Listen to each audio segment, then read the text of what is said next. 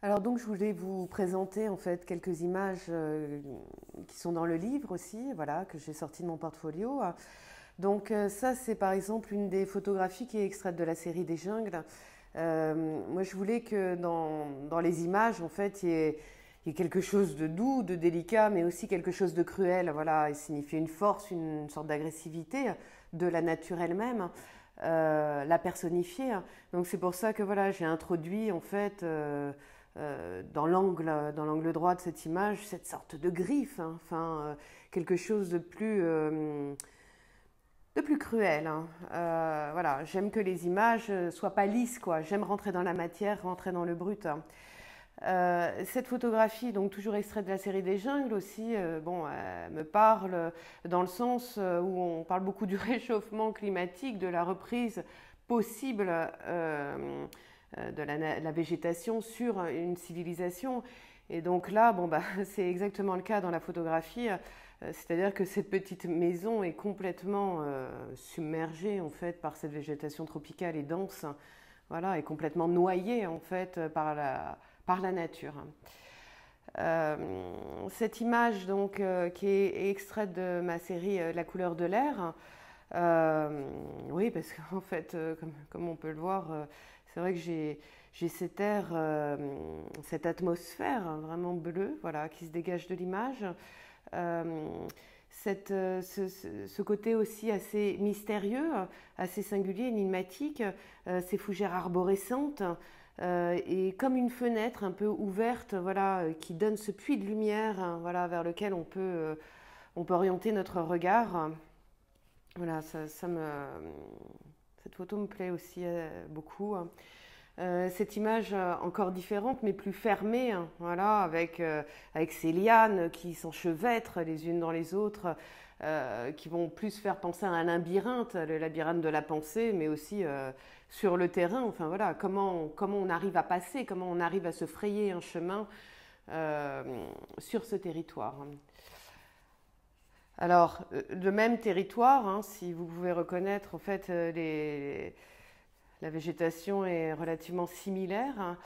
Euh, alors, ce territoire, donc cette, architecture végétale, hein, presque cette cathédrale végétale, qui est, superbe avec ses percées de lumière derrière moi, je suis arrivée, donc, euh, enfin, en tout cas, ce personnage euh, arrive, se positionne, hein, voilà. Euh, bon, avant d'arriver à cette image, il faut dire que j'étais complètement perdue dans cette forêt. je, me suis, je me suis retrouvée grâce à mes sens, hein, voilà, grâce à Louis notamment, où j'ai pu me, où j'ai pu retrouver une direction, mais voilà, on est vraiment dans, dans quelque chose d'assez labyrinthique. Hein, alors cette image hein, aussi, alors que j'aime beaucoup, euh, le lac vert, le lac vert qui est, est vert parce que voilà, il y, a du plancton, il y a des, des, mm, micro-éléments euh, végétaux qui, euh, qui sont emparés un petit peu du lac et qui lui donnent cette couleur très singulière. alors qu'est-ce qui s'est passé? Là en fait, on voit en fait c'est un petit peu vrillé sur l'eau, c'est-à-dire qu'à un moment la pluie commence à tomber, voilà la pluie commence à tomber et donc je me dis bon bah je vais me rabattre à l'intérieur de la forêt. Et là, c'est là que je, prends donc je change de position, de situation, de point de vue. Et là, je vois en fait tout ce décor. Je me, je, je me dis là, faut que j'y aille. donc j'y vais. Euh, j'y vais toujours, hein. mais alors là, plus euh, la crainte, euh, quelque chose d'angoissant, enfin, et en même temps d'assez onirique. Hein. on parlait aussi du rêve, enfin voilà, une porte, une porte vers l'inconnu, peut-être la porte d'un nouveau monde, je ne sais pas. En tout cas, prudence. Alors, on passe à cette image. Cette image, elle me tient aussi particulièrement à cœur puisque c'est la première que j'ai fait. c'est la première image que j'ai fait en fait quand j'étais à Sibérou. Hein, euh, mon premier voyage euh, donc dans la famille de Théolépone. Alors donc c'est Théolépone hein, qui est sur, sur l'image, la machette à la main, mais c'est vrai que voilà, il semble être euh, regardé, il pense pas à lui, il, est complètement absorbé par par cette végétation luxuriante et il y a quelque chose qui l'appelle, quelque chose, voilà, chacun s'en fera son idée, mais Je trouve ça très intéressant. Cette, cette, image, alors avec, avec Bailey Pon, euh, qui pour moi est plus euh, comme une invitation au voyage. Alors toujours l'histoire de la composition dans l'image, hein, euh, vraiment. Donc la photographie, c'est aussi composé hein, par rapport au cadre, vraiment. Et donc voilà, comment on investit le cadre photographique, comment on le construit. Donc pour moi, c'est encore une fenêtre ouverte, une projection. Donc ce, ce personnage, voilà, qui qui regarde cette forêt, voilà, et, dans lequel on peut se projeter et, et imaginer euh, des scénarios possibles. Mes copines hein, aussi, euh, mes copines de la forêt. Alors, euh, bah, je vous ai dit que là-bas, ils, sont, ils ont vraiment bienveillance, ils, sont, sont sympathiques. Et, je veux dire, depuis que je vais là-bas, c'est vrai qu'on a appris beaucoup à rire ensemble. C'est des personnes drôles. Et bah, l'image le montre encore on est mort de rire. en fait, euh, je veux dire, euh, enfin moi je trouve ça assez extraordinaire. Je trouve ça assez extraordinaire. Euh, voilà, il y a vraiment quelque chose qui sort du plus profond de nous, quoi. Cet éclat de rire qui est qui est vif, qui est fort, qui est vivant et et qui en dit long en fait sur sur la rencontre en fait. Cette image aussi de Bai Noko et de Aman Noko, donc, euh, bon, bah, encore une fois, bah, je vous redis, hein, moi, je, ne me dis pas, tiens, je vais faire la photo là, là, là. C'est vraiment, on est sur le territoire, je fais confiance à mon intuition. À un moment, je me dis, c'est là. Et donc, bah, je, leur dis, bon, bah, je place, hein, je place, je les mets en situation. Et puis, bah, voilà, toujours le contact, l'interaction. Et là, quelque chose se passe. Donc, aussi quelque chose de. On sent on sent qu'il y a des joies de vivre. Hein. Vraiment, c'est, euh, il y a un échange, il y a un partage très fort. Hein.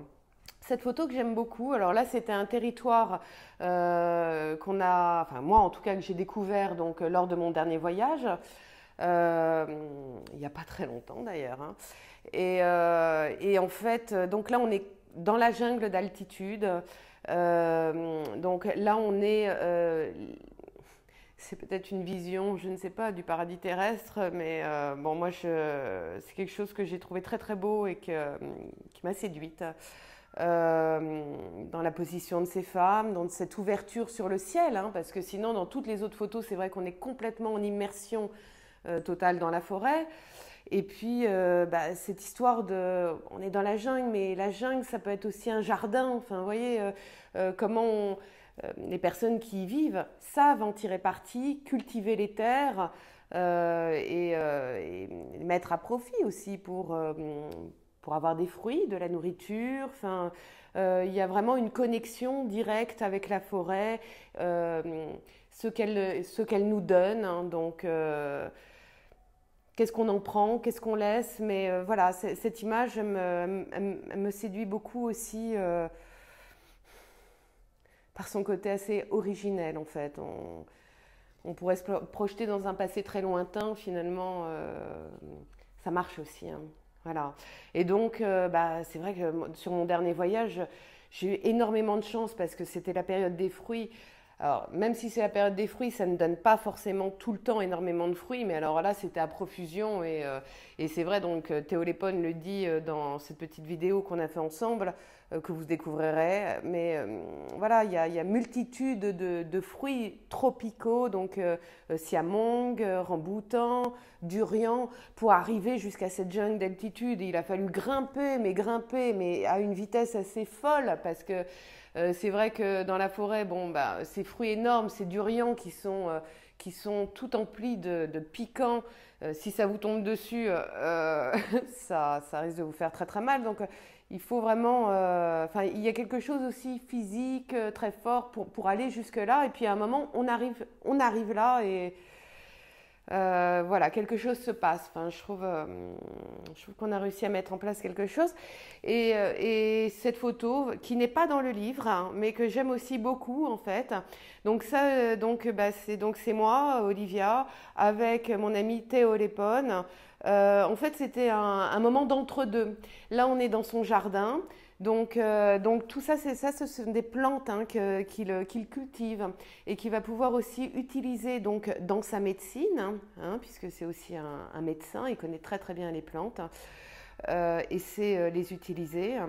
Et donc là, on était, en fait, on avait fait des images avant, et puis là, finalement, bon, tiens, on va fumer une cigarette, on va se faire un petit break. Et puis moi, j'ai toujours mon déclencheur dans la main et euh, j'ai pas pu m'empêcher, hein, j'ai appuyé. Mais voilà, je trouve que c'est une, belle image où aussi on est ensemble. Alors chacun, lui, va regarder dans une direction, moi aussi, je vais, regarder dans une autre. Enfin voilà, ça montre aussi, ben, voilà, notre identité à chacun et, euh, voilà, j'avais envie de vous la partager.